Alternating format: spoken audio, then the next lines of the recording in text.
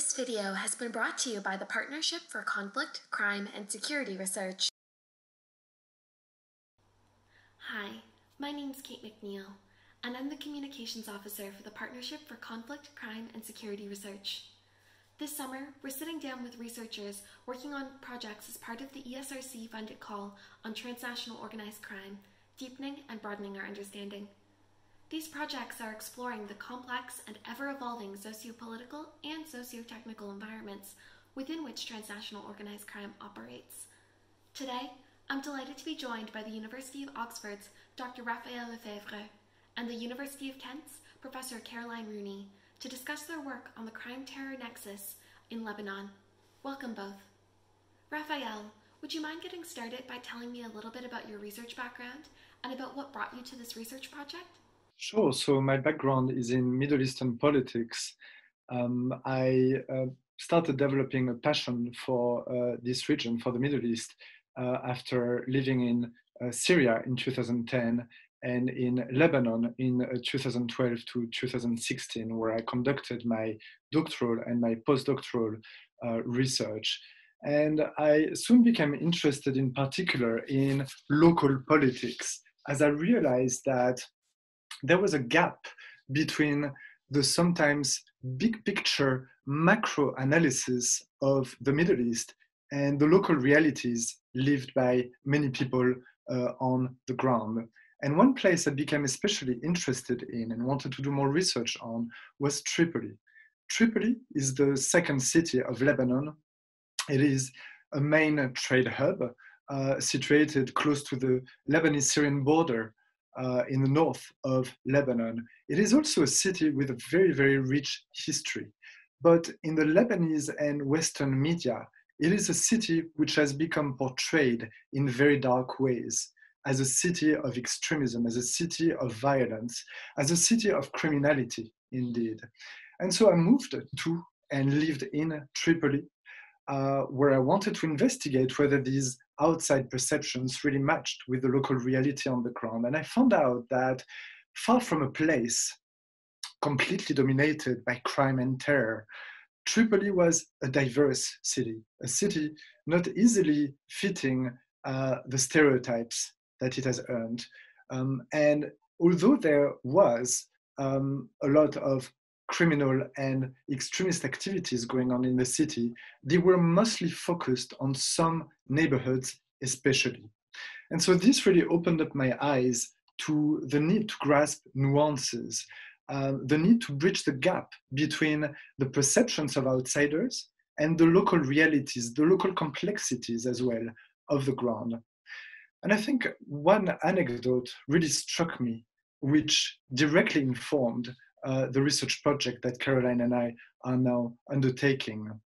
It was the story of Shadi al-Mawlawi.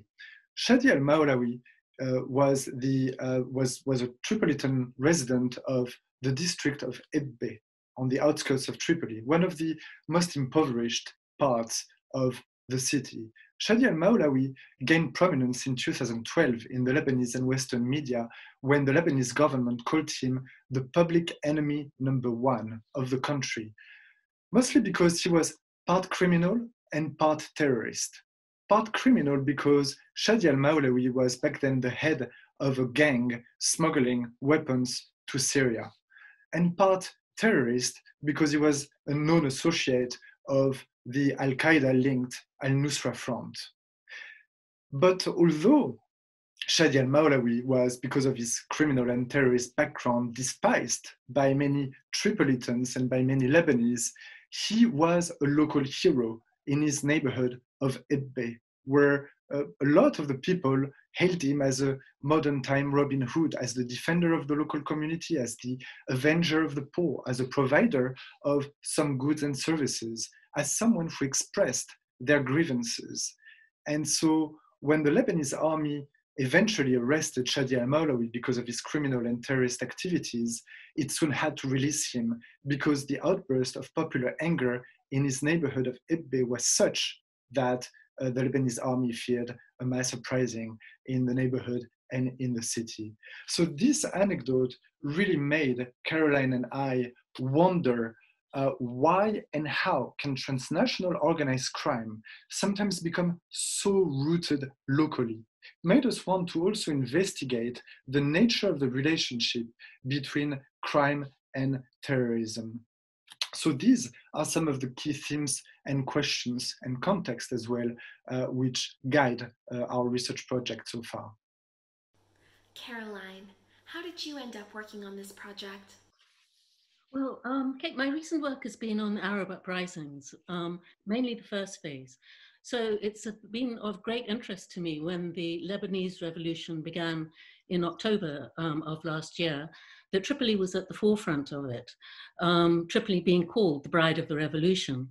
Um, I think that it's fair to say that all of these revolutions have been against what people see as the corruption and negligence um, of neoliberal elites, really. Um, that's being seen actually by many of them as a form of criminality um, in their eyes. Many of the protesters see this negligence as a form of criminality. Um, and in this regard, I'd like to draw attention to some of the statements that have been made in terms of the recent revolutionary movement. Um, the Tripoli uprisings um, convey their messages as uh, other uprisings have done through things like graffiti. And there's one graffiti image of a man holding a, a peace sign, and he is saying, um, the little speech blurb that comes from his mouth says, um, fighting corruption, fighting sectarianism, fighting violence. Um, in addition to the graffiti, the, the chants have proved very telling. One of them is, Thieves, thieves, I want to live, I want to breathe. I want to find a job in Lebanon. I want everything they stole from me. Um, and in a CNN interview, um, a resident of Tripoli states um, the solution is for the army chief to round up all the politicians and put them in the jail. In um, a Guardian interview, a woman speaks of how um, livelihoods and salaries are being stolen, and um, she, this is confirmed by another man who's also interviewed. So it's what is striking is that while Tripoli has been demonized, as Raphael has said, um, as this extremist city, the the protesters are calling um, those that um, the those that they see as responsible for their woes as the corrupt politicians. Um, yeah, so uh, uh, a revolutionary, Lina Khatib, states that the scenes in Tripoli have been deeply moving because many had written the, the city off um, as, as a hub of extremism. Uh, so um, what, what, the, what this recent uprising shows is that, um, that, that Tripoli does also have the capacity to, be um, a creative hub, and the movement was characterized by inclusiveness and festiveness, reflecting the, the warmth and hospitality of the, the city that Raphael has found these other aspects to Tripoli. Um, and I think that in spite of its problems, it's very important to realize that um, it, it, can't be seen in a, in a, a place that is just homogenous. Um, and its potential um, could be drawn on in, in ways um, that could be supported further. Raphael, what gaps does this research project seek to fill? So, Caroline and I are seeking to make uh, two main contributions uh, to the literature uh, in security studies on uh, transnational organized crime and on terrorism. Um, the first contribution is really to undertake um, a history and a sociology as well of crime and terrorism in Tripoli. So what we want to do is really to look at the local context which has uh, favored the rise of some of these criminal and extremist organizations over the past 20, 25 years in Tripoli, which has given such a bad image, as Caroline was just saying, uh, to the city. Um, so what we want to do here is really to map out who the main criminal and terrorist actors are in Tripoli, but also in which neighborhoods they operate, what local contexts they are operating in. And this is all quite important because Tripoli remains an enigma. It remains an enigma for a lot of the Lebanese and Western policymakers who are working on Lebanese politics. It also remains an enigma for researchers because a lot of the attention has been focused on the crime and terror landscape and the political landscape at large in Lebanon, on Beirut in particular, thus overlooking the country's second city of uh, Tripoli. So we're really hoping that our work on the history and the sociology of crime and terror in Tripoli will bring nuance to some of the discussions uh, currently going on on Tripoli. And, and, and that it would also highlight this broader context that I was talking about, a broader context marked, for instance, by a lot of poverty. Uh, Tripoli is a city in which 57%, so over half of all residents, live under the poverty line. So these are contexts I think worth highlighting, and they are in and of themselves uh, a contribution because they contribute to our understanding of the crime and terror landscape uh, in Tripoli. But second, and perhaps most importantly, we're not just interested in Tripoli for the sake of Tripoli. Rather, we really want to try to uh, derive broader insights from our local micro uh, field research in Tripoli to understand the broader role of the local, the local in how transnational criminal organizations and also extremist groups operate. So criminal and extremist organizations are often seen as very clandestine uh, organizations, movements operating remotely and driven by global aims. And this is partially true. But our research also suggests that these groups are also rooted sometimes extremely deeply in some places, especially, and that local dynamics are also really key to understanding how they operate.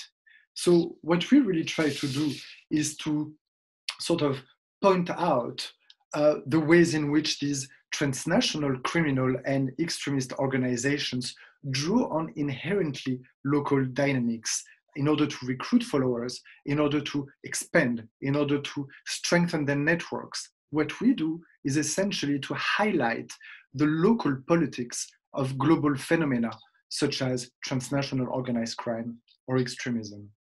Would you mind elaborating a little bit on about how you've gone about conducting this research? According to the analysis that we have conducted of this research, of this trove of data, uh, two thirds of all Tripolitans currently being held on terrorism charges hail from three neighborhoods of Tripoli specifically and only. Uh, so there is a clear neighborhood effect at play there. And most of them have uh, a criminal past as well. So it does suggest uh, that, that there is a local specificity that we have to then examine, uh, investigate. And this is the second part of uh, the way in which we conducted our research.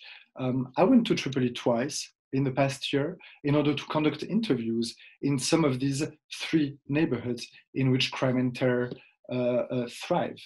Um, and so I went in particular to one neighborhood called Al Mankoubin. Al Mankoubin is the name of one of Tripoli's most infamous uh, neighborhoods. It means in English the damaged ones. And its name hints at the terrible socioeconomic and political condition in which the residents of this essentially slum uh, live in. Um, this is a neighborhood in which 87% of the local residents live under the poverty line. This is a district, once again, in which illiteracy and unemployment are incredibly high, much higher than the uh, city average. Uh, it is also a neighborhood in which, as a result, there is a lot of social and political anger at the Lebanese government because of its inaction, also at local elites and at uh, local politicians. Um, on this fertile ground, terrorist and uh, criminal organizations have rooted uh, themselves, and as a result, uh, criminal networks, Salafi jihadi networks, proliferate. So it has become a neighborhood stigmatized by a lot of Tripolitans as being extremely unsafe. And uh, it's quite telling that when I went there uh, six months ago, I found it very difficult to actually find a research assistant to accompany me in this neighborhood because no one essentially wanted to go there. Uh, it says a lot about the stigma that still sticks to this neighborhood. um, I went there uh, nonetheless and found a research assistant uh, to help me build local networks. And I was struck by the dozens of life stories I gathered there, life stories indicating um, how people's livelihoods are being impacted by transnational organized crime, by terrorist activity, and, and also the ways in which these groups uh, use local grievances in order to root themselves locally. Uh, so that has been the qualitative aspect of our research, uh, building upon the quantitative data that we had gathered from the Lebanese Interior Ministry. And the third step, the final step of our project, which we haven't been able to uh, start yet, unfortunately, because of the COVID 19 pandemic, uh, is going to consist of partnering with three local organizations in Tripoli in order to um, organize a series of workshops. Now, these workshops are aimed at, of course, generating data for our research, but also at exerting an impact on the ground. So we're partnering with three organizations. I said, just want to name them because they do a really great job. Uh, they include March, which is a Lebanese Tripolitan local NGO doing a lot of uh, very good work on countering uh, violent extremism.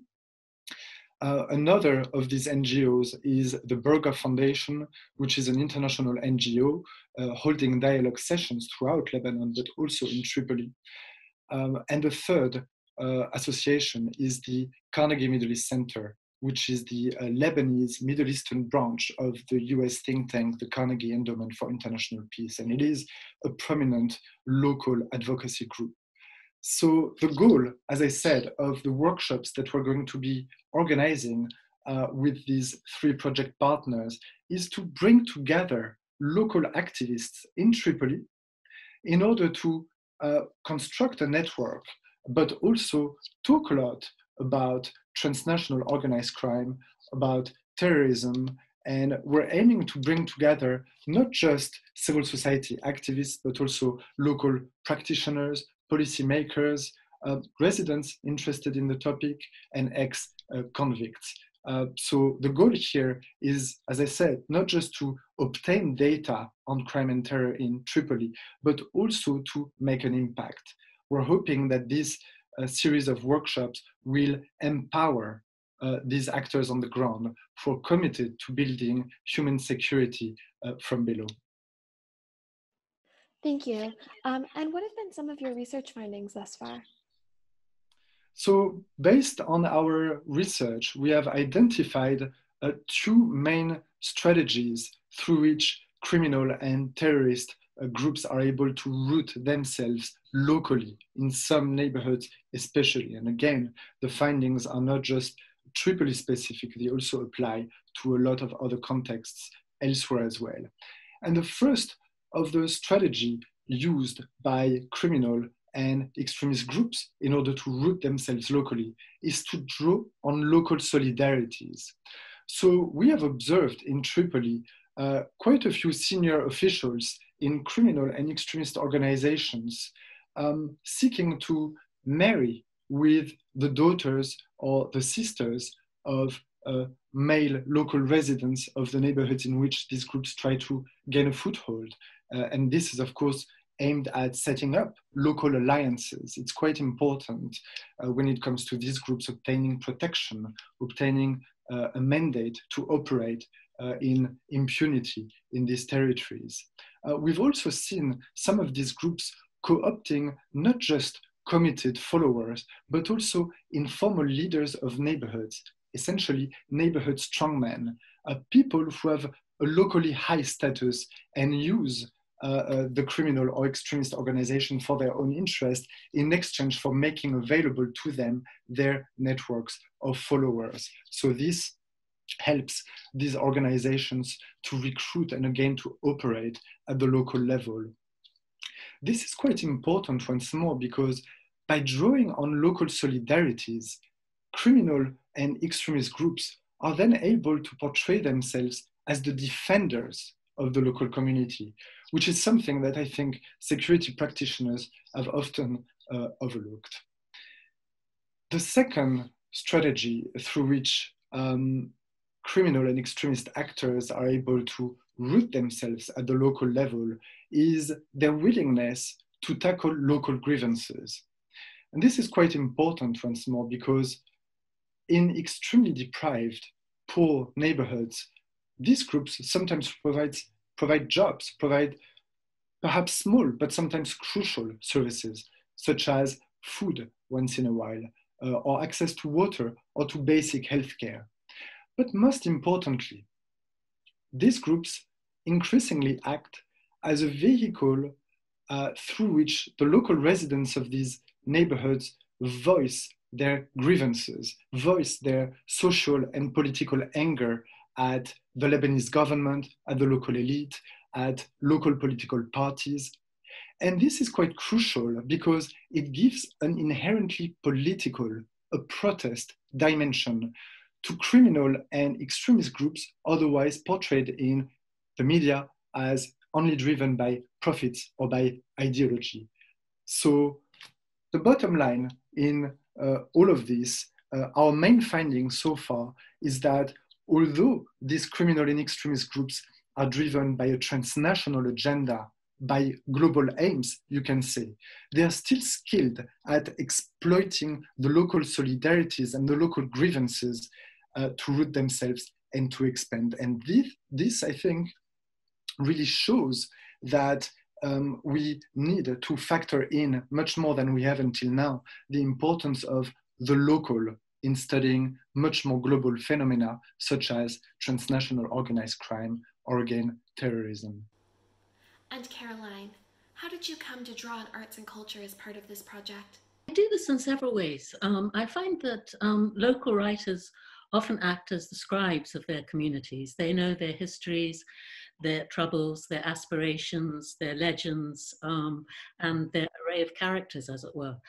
For instance, the gangster type and the Robin Hood gangster type that Raphael has spoken of um, often appears in Arabic fiction as the futawa or strongman of the alley. And as Raphael has said, he, he may be a criminal, but he also helps the community. Um, and, and, this is a very specific phenomenon that's um, interesting to look at how it is written about. Um, a recent novel about Tripoli that interests me is Jabbour Douaihy's The American Quarter. Um, it actually is a story about how a young man becomes radicalized. And um, it's a story that fits very much with the stories that um, have been emerging from the interviews. You know, he becomes a petty criminal. Um, his um, sense of hopelessness and, and abandonment is, as it were, exploited by Islamists in the community. Um, and I suppose what's interesting here is that the appeal of Islamism is often not as ideological as it is presumed to be, but can be due to material and emotional and psychological vulnerabilities. Um, so th- this is something that I've also explored in a book I've just published called Creative Radicalism in the Middle East. Um, and in this book, I trace how extremism on the one hand and creative radicalism on the other, such as emerges with the revolutions, emerge out of the same conditions, but they take different trajectories. Um, so here, as regards Tripoli, I'm particularly interested in the work that March our project partner has been doing, using the arts to mend rifts in communities and to empower people. So it's not a case of this creative radicalism being about making art for the sake of making art, but it's how arts and popular culture being used across the Middle East to rebuild um, divided communities, to advance civic engagement and participation. Um, and it's a case really that, of providing alternatives to the kind of um, solutions offered by the, the Islamists. Um, so yeah, um, here I, a previous documentary film I made called White Flags explores how citizens in Beirut um, are using a, a, variety of means to mend sectarian ravages, build trust, and to rebuild and reconstitute civil society. Um, and I'm very interested to sort of see what specific um, variations we find in the, the Tripoli context around this, and very much looking forward to the documentary we hope to make um, that we've sadly had to postpone due to the pandemic. Um, but I think it, will be important to for us to show the, the neighborhood through the eyes of its residents um, so that local vicissitudes might be understood from their perspectives. Um, because this will be a means of um, drawing attention to their sense of desperate conditions, which I think is an increasingly problematic situation, um, so that we might work on, thinking of how we might confront these and alleviate these um, situations, um, but with both civic participation of those we work with and um, with NGO support as well. We're just about out of time, but Raphael, and Caroline, thank you both for joining me today to talk about your research. It's much appreciated. And to all of those watching, thanks for listening. If you want to learn more about PaCCS and our research, you can visit our website at www.paccsresearch.org.uk. Thanks again.